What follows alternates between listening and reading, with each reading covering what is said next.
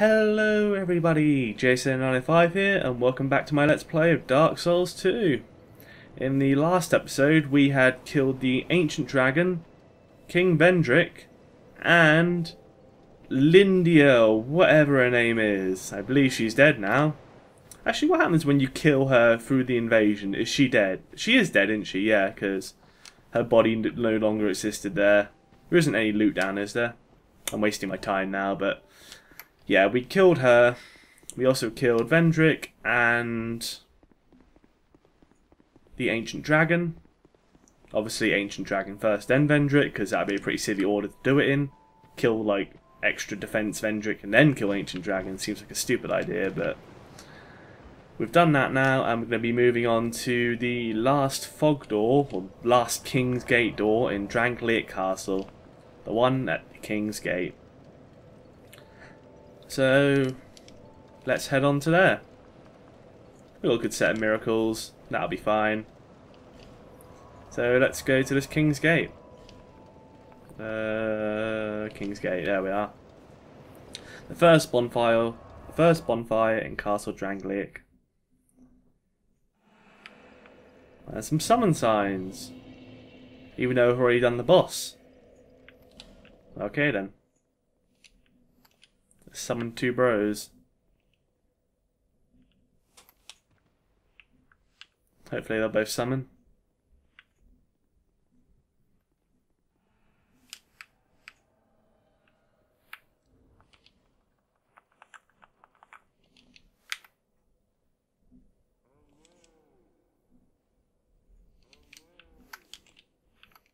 Orcus, Bismuth, Armulator, Farmin, Twilight Raven, why not? Okay.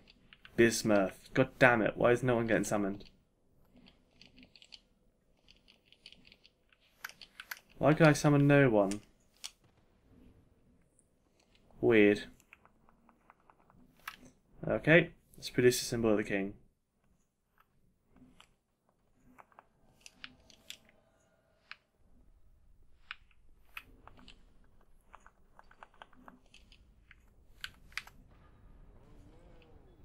Say hello to Renkin. I have a habit of doing this now. I love using the voice communication system in Dark Souls 2. Uh, let's put the calamity ring back on. Hello. Let's go through here. You go through this area. Oh, what are you doing here, Piekeeper? You're taking your hood off. Okay then. Shanalotte.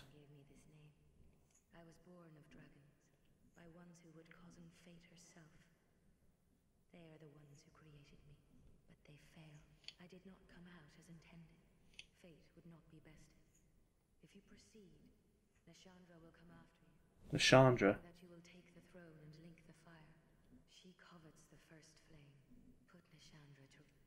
We gotta kill Nasandra. Nashandra. Okay then. Let's kill Nashandra. Throne of Want. Or Vant. W's always pronounced as V's, aren't they? Or is that a German thing? I don't know. Come on, this is such a long run. Oh, there was a fog door over there, so is this Nashandra? The Emerald Heralds, or oh, I forgot her name already. I didn't pay attention to her name. The Emerald Herald apparently has a name. She apparently is half dragon or something like that. The dragons created her or something. It was like Samalit or something. I knew it was very similar to Camelot. Okay, let's do this. Chant my weapon. And kill these bosses. these bosses? Throne Defender and Throne Watcher. Two dudes. It's Ornstein and Smough. Except it's not. And they apparently walk very slowly. They're not very hard to kill, apparently. Oh, you do flips and shit.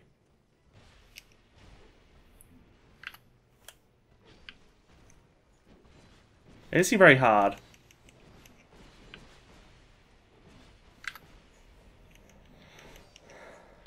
Oh crap.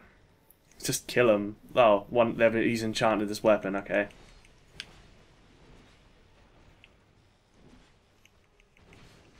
Ow. He's enchanted his weapon too. That's one down, just one to go. Ow, he has a fucking AoE attack. Die. Your friend is dead. And they're both dead. Although, Defender took a while to die. Throne Defender and Throne Watcher Soul. Very good.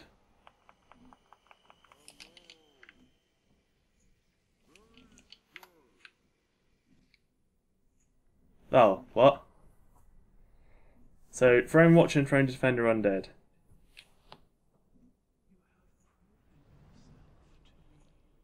Oh my. Hello, handsome. It's Gravelord Nito's wife! Basically is, isn't it? Gravelord Nito's wife. What are you doing in this game? That's a bony scythe you have there. I love the feeling of bony scythes on my bony fingers. It's a dark boss. Sure, I'll be one with the dark. Oh, hi guys. You're gonna help me with this boss too? Sweet. What's she doing? It's a dark hand she has there. Ah, curse. No, don't cast curse. Oh shit, these things inflict curse. Balls. I got cursed, but whatever. We shall recover. Oh, she has a curse aura, doesn't she? Right, let's get the sunlight blade, sunlight spears out. Let's just spam her lightning spears, because apparently she likes to curse me. She has an aura of death. Get speared. Ow. That was painful. But I, I did survive. And didn't get cursed again. How much times have been cursed so far? Oh, she didn't shoot a laser this time. She didn't fire her laser. And she's dead. That was easy? What the fuck was that?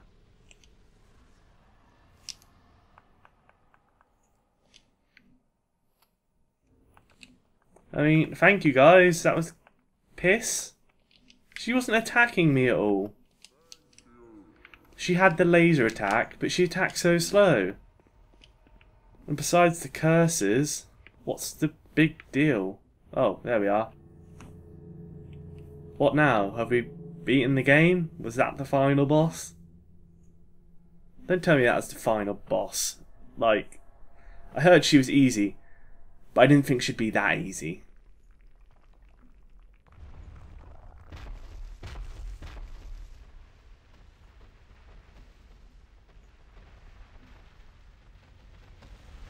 Stone giants be strolling.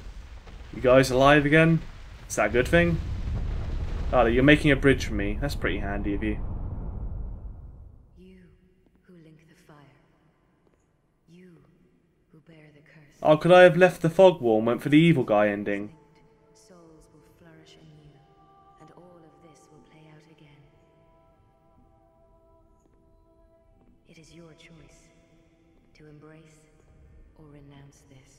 Oh, okay. Do I get to pick?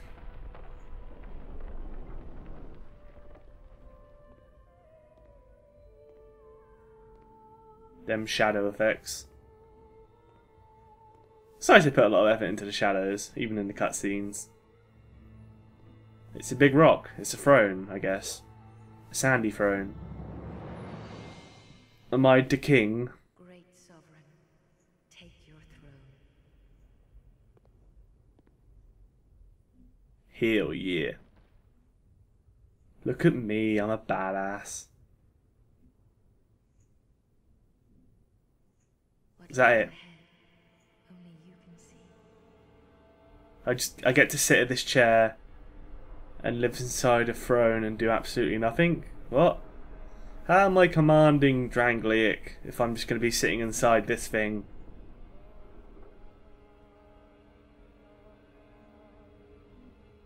I'm the boss though, aren't I? All praise before Jason and a 5. And that is the end of the game. Dark Souls 2. Surprisingly, not too difficult to be honest. I, I had plenty of deaths, don't get me wrong. I had loads and loads of deaths. But compared to my first time I played Dark Souls 1, it felt a lot easier. It felt like the game held your hand a lot more, especially, especially with that Ring of Life protection. I mean, it kind of holds your hand in that respect. Oh, you died. How would you like to not die, instead pay 3,000 souls? I think we all know which one would take. It feels a bit cheap to use that ring, but let's not just talk about the ring. The gameplay in general, yeah, it wasn't really, really hard. What am I talking about? It, it wasn't hard at all. I mean, it was difficult at some points, but I never really felt like I was being overwhelmed. A couple of points I did, but I know it's the game's a lot easier with Phantom help, especially due to the fact that Phantoms can heal themselves now. Originally, we thought before Dark Souls 2 came out that Phantoms wouldn't be around forever, but it turned out that's what the small white sign soapstone did. A actual Phantom can just carry you through the area, just like any Phantom could in Dark Souls. However, that Phantom did have to rely off using your Estus or popping humanities. In this, they had their own Estus. They could do what they want. They could just run ahead of you, kill all the enemies for you, point at the boss, go like, here's the boss, kill it and then they run in and kill the boss for you. I mean, I didn't just rely off my phantoms as a crutch. I did also fight alongside my phantoms. However, I feel like without them, I would have had to had, had to had a few more attempts at some of the bosses because of fighting for the first time, I didn't get their attack patterns down. But when you have two phantoms to take the hits from the bosses and see their attacks, you kind of catch on. But yeah, I certainly like the visuals of this game. I feel like it's been much more improved from the first game. The lighting effects really cool, like when you were in some rooms and you lit that bonfire, you just felt so comfortable as the light effects just lit up the room and it looked really cool and surreal. It felt much more smooth. It felt much more refined and better graphics than Dark Souls 1 if you don't take into account the graphics fix mod. Like they actually put effort into the PC version, and then we didn't have to wait an extra month or two. But it was worth it in the end. The graphics look good on the PC. Yeah, they look really refined. And them robe physics. Everyone loves them robe physics. You gotta pick an armor piece with a robe on the back, like a cape. Not a robe, a cape. You can wear robes too, but I like the capes on the back of some armors, like the Archdrake armor. Just because you got that fun little cosmetic effect where it flips around. But yeah, I really like the visuals of the game. I like the gameplay. I don't get me wrong, I like the game. It has great visuals. The gameplay is also fun. You know, I really enjoyed the gameplay. It just feels a bit more simplified compared to Dark Souls. I mean, you know, it, it it tell it gives you a direction straight off the bat. It's like kill these four bosses. That's your objective. And then you can't really go to much places from there. Know, you're kind of on a set track. You're kind of guided through the game. Like some points, it's like, oh, you need the King's Ring to get through this door. Okay, now get the King's Ring. Just feels like it doesn't have that as much. Hmm doesn't have as much.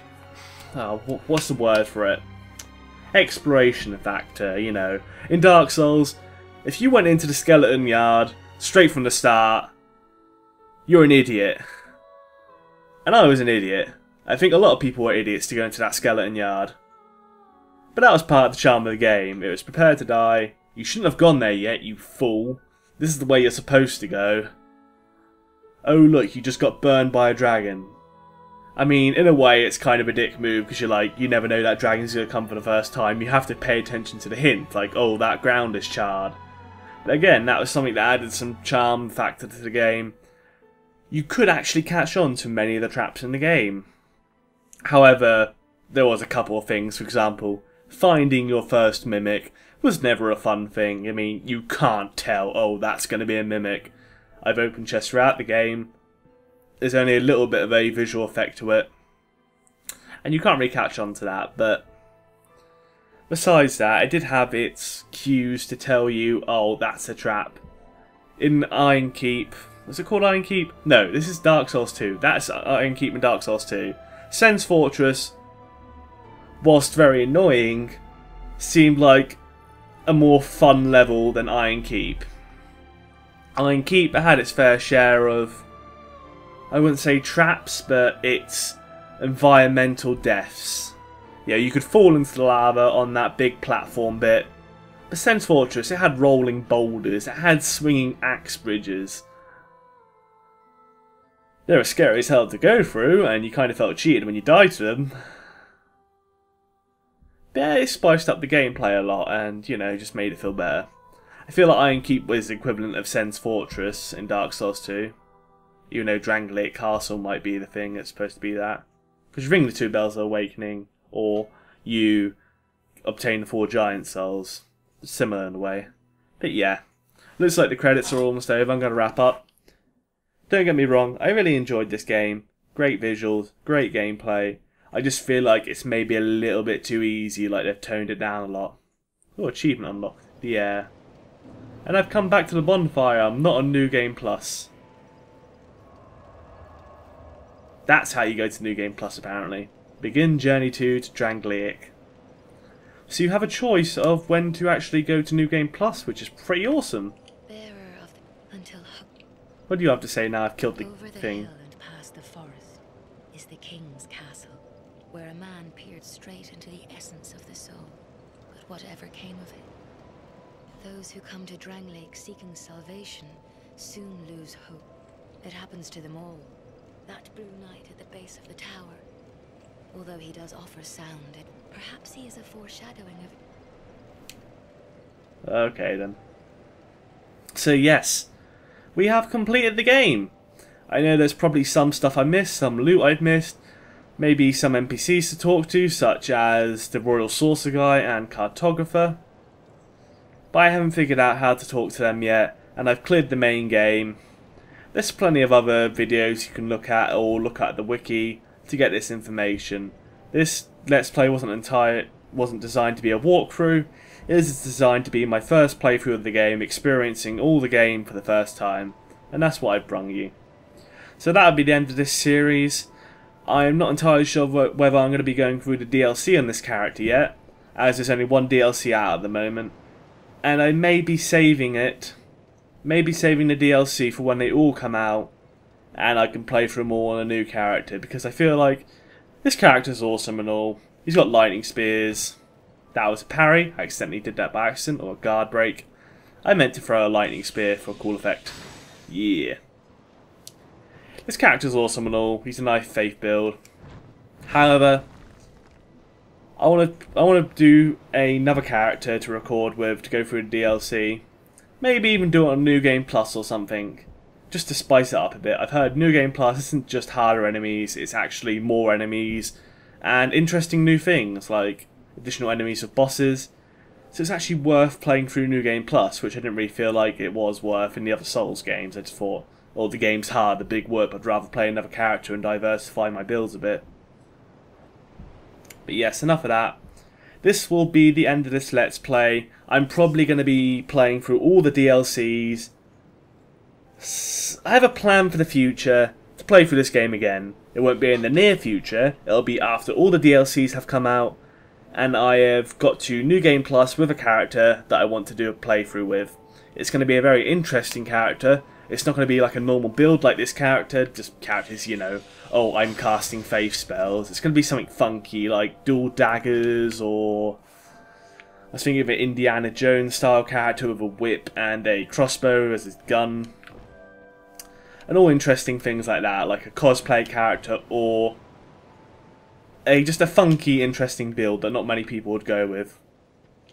It'll be impractical, but that'll help add to the difficulty of the game, going through New Game Plus on a character that's a bit funky and a bit different from normal characters. But that'll be it for this Let's Play. Thank you all very much for watching.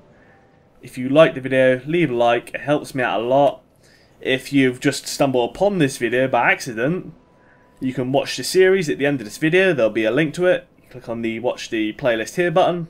You can watch the entire series and watch all my deaths and fails and all that and have a good time. And don't forget, you can subscribe if you want to see more videos similar to this one. See you all next time.